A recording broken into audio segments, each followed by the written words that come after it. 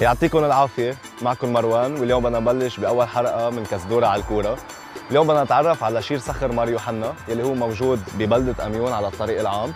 أميون اللي هي عاصمة الكورة وهي من أقدم البلدات اللبنانية عمرها تقريبا 4000 سنة قبل الميلاد. هيدا الشير هو من أبرز المعالم الأثرية الموجودة بأميون.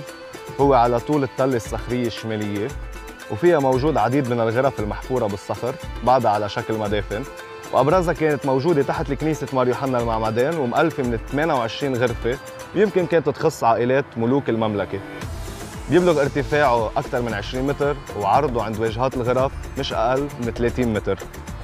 على هيدا الشير كان في آثار لنقش ضخم لطائر الفينيق على هيدي الواجهة بيتجه براسه نحو الأعلى وصوب شروق الشمس يلي هو إله البعل عند الفينيقيين. وبعد ما خلصت الحرب الأهلية مجلس إنماء الكورة كان يعمل مهرجانات قدام الشير اسمه مهرجان الزيتون ببداية التسعينات وضل على عده سنين.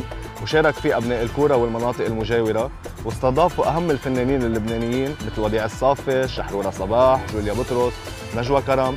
ومن سنة 2010 رجعت لجنة مهرجان أميون التراثي مع بلدية أميون بتنظيم مهرجانات جديدة تحت هيدا الشير الأثري.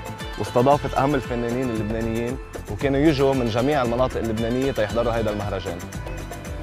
خلينا نفوت هلأ نشوف غرفة من هالغرف الموجودين بالشير الصخري يلي هي منفتلة من قلب كنيسة مار يوحنا وهي أعلى غرفة موجودة بين كل الغرف. هيدي أعلى غرفة موجودة.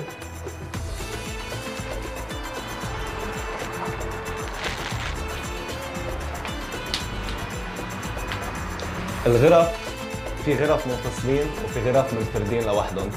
وكانوا يتواصلوا ويتنقلوا بين بعض بفتوحات هالقد صغار. تقريبا مش أكثر من 40 سنتيمتر كبر الفتحة. واكتشف حديثا نقوش ورسوم ورموز بالألوان على جدران الغرف.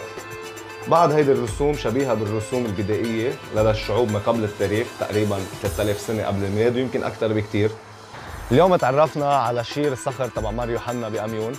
ولاقونا بالحلقة الجاي من كزدورة على الكورة. تنتعرف على منطقة جديدة ومعلم سياحي جديد بالكورة. و meanwhile خليكم منتبهين على حالكم و stay safe